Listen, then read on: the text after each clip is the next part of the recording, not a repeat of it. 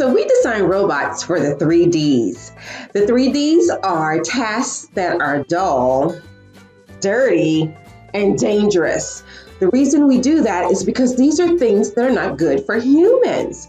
An example of a dull task would be an industrial robot that spends 24 hours a day moving parts or inserting parts, like into a car. You don't want a human doing that all day because they would become bored and start to make mistakes.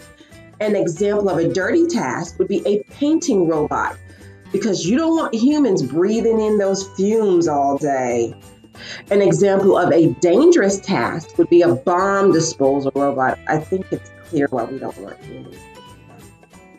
So, these are the things that robots are ideal for.